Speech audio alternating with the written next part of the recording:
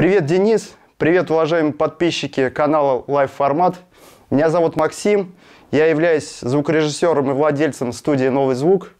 Рад всех приветствовать. И у меня первый вопрос. Как ты познакомился с моей НЛО и ваш, начало вашего творческого пути, первый альбом? Наш творческий путь начался в 2009 году. А, в то время я, Ярослав Тихонов и Александр Солдатков а, играли в группе Two Days. На тот момент у нас уже за плечами был опыт э, игры в других музыкальных коллективах. И мы искали себе вокалиста.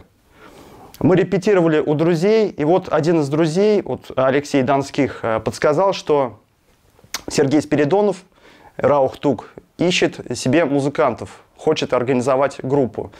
Э, я был с ним знаком, поскольку постольку на тот момент. Мы с ним пересекались несколько раз на концертах, фестивалях, но я знал его способности вокальные еще по группе «Велес», мне очень нравились их песни. И нравилось, как э, Сергей пел там, исполнял свои композиции. Вот. И я решил ему позвонить. Я позвонил ему, пригласил к нам на репетицию. Э, он пришел к нам на репетицию, мы отыграли, сразу сделали аранжировку на две его песни. Это «Счастливый меня» и «Воганы», насколько я помню. Вот. И нам всем все очень понравилось, и мы начали работать над альбомом. Тогда у меня следующий вопрос. Вот к вам приезжала Rush Today. Вот расскажи, по какой причине они приезжали и вообще твое отношение к этому, что ли? Наша группа образовалась в марте, сравнительно недавно. Вот. У нас общие идеи, поэтому мы начали вместе играть.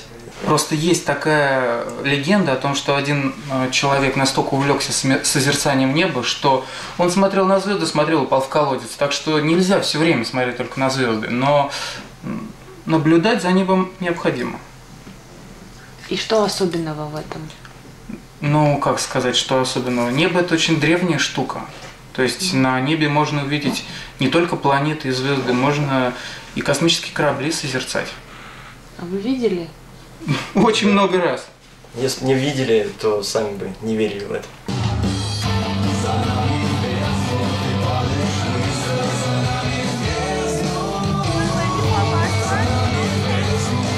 Literally, it's uh, it's nothing really. I just get.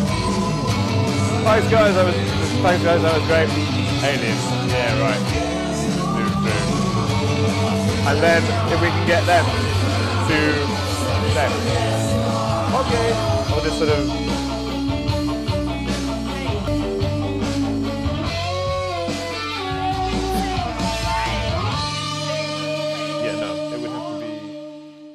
Ну, отношение всегда позитивное, когда э, ты продвигаешь свою музыку.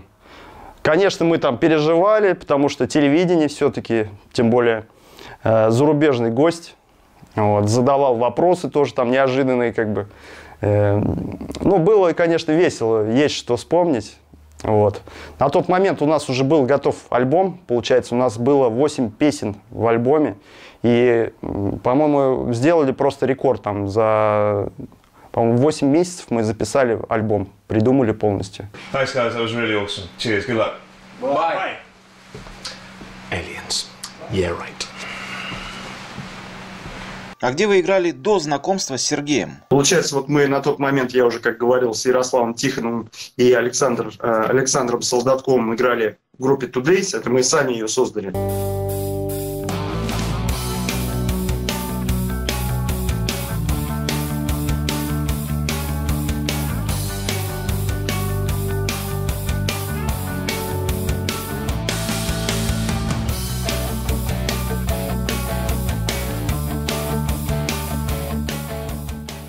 Но до этого мы вместе также втроем играли в группе «Санскрит». Вот. У нас э, фронтменом э, был Рифат Замуканов, многоуважаемый, который сейчас проживает в Москве. Вот. Но мы продолжаем общаться, то есть э, он является звукорежиссером Мити Фомина.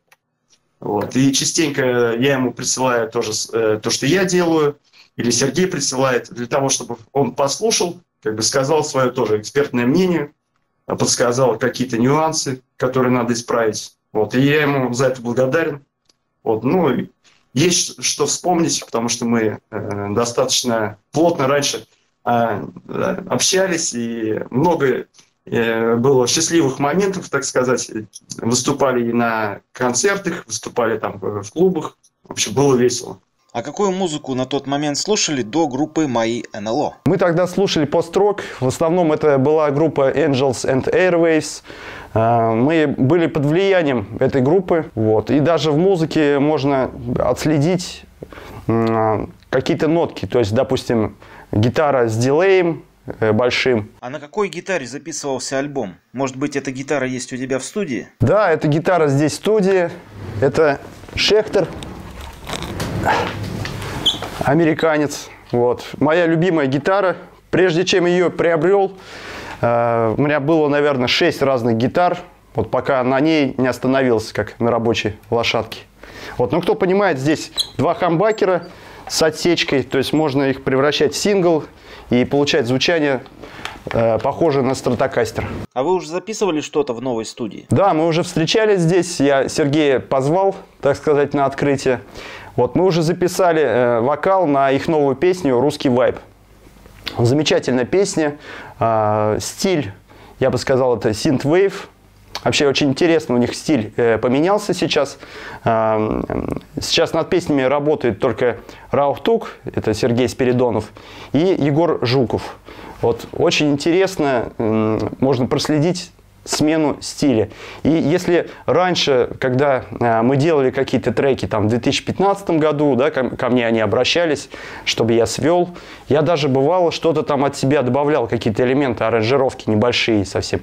А сейчас настолько цельная аранжировка и настолько хорошо она звучит.